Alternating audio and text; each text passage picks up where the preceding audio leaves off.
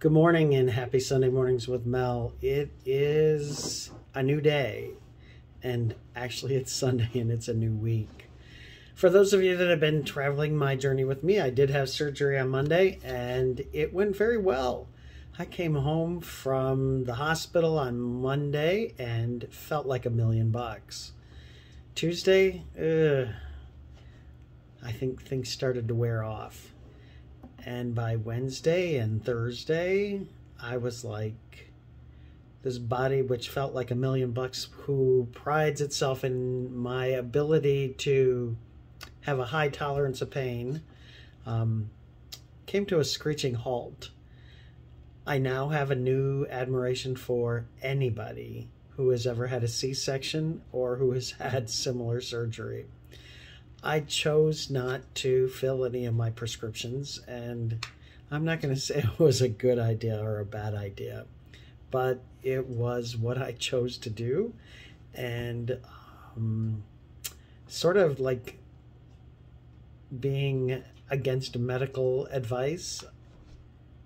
M A, I don't know what they call it, but you know what I'm saying. Well, I want to thank everybody for their thoughts, prayers, texts, food, um, visits. I think I've sort of covered everything. Calls um, during this week. I am on the mend, and I am going to be speaking at church um, this after this morning, and um, it will be brief because um, to give any exertion of abdominal effort is just difficult.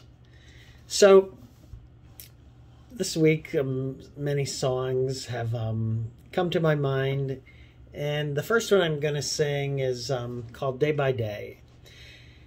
And it goes, Day by day, and with each passing moment, strength I find to meet my trials here, trusting in my Father's wise bestowment. I've no cause for weary or fear. He whose heart is kind beyond all measure gives unto each day what he deems best lovingly. It's part of pain and pleasure, mingling toil with peace and rest. Now I see why all those tattoo parlors are called pain and pleasure. I didn't have much pain, especially getting in and out of bed, changing positions, and that's why I decided to not go on any uneven turf today and decided to do it here in my den. Um, the next song I'm going to sing is um, Count Your Blessings. I think it's something that we all need to do, especially when we have our health, when we are physically without any kind of ailment. Um, when you thought what was going to be a minor procedure, and it really was, I don't want to make more out of it than it is. I mean, it is so minor on the grand scheme of things that could be wrong. Um, we just need to count our blessings. And that goes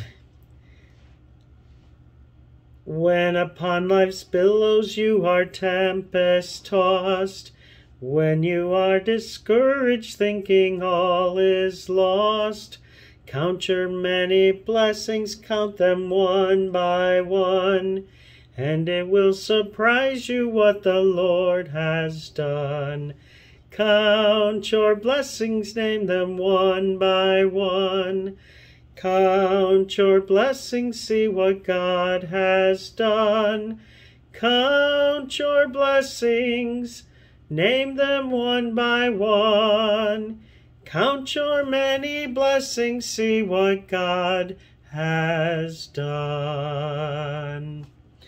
You know, it is amazing that something we take for granted at the very center of our core, unless you're in a bathing suit and have a six pack, um, we just sort of ignore our belly buttons. And um, this week I was very conscious of my core when I would lean up against the counter or I would try to squeeze between two things and it just got touched. And that's where I went into the what my sermon's going to be about is people who push your buttons, whether it's words, whether it's actions. It's just amazing how you could be having the best day in the world. The flowers are blooming, the birds are singing, and all of a sudden, in a New York minute, your whole person changes. Just like when I or someone bumped my belly button this week. So I'm going to talk about people pushing our buttons. But it's great to have friends who, when we pop our buttons like the Incredible Hulk when he has a fit of rage, that um, there's someone there to help us sew our buttons back on.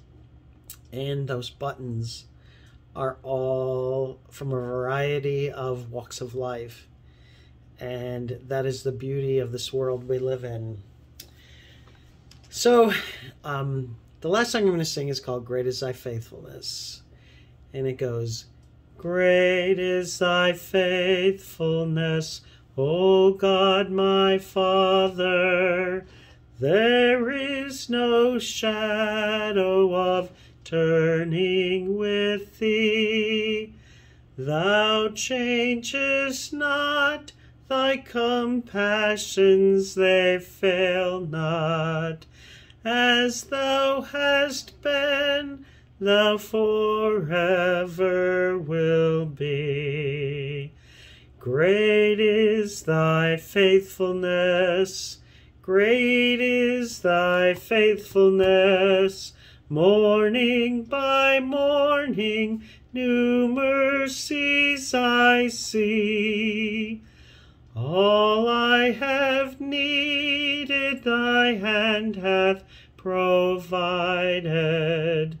Great is thy faithfulness, Lord, unto me. And just like that, my seven minutes have gone by. Again, thank you for being my friend this week, whoever you are, and you know who you are. So, 10 o'clock, St. John's United Church of Christ, 204 Leonard Street in South Amherst, just south of 113. No matter who you are or where you are in life's journey, you're always welcome to come worship with us. Um, I won't be pushing any buttons today. Um, oh, no, I, I might be but would love to have you join us. Um, we are singing and we have great musicians, and so I hope to see you, if not today, some Sunday soon. God bless you and have a good week.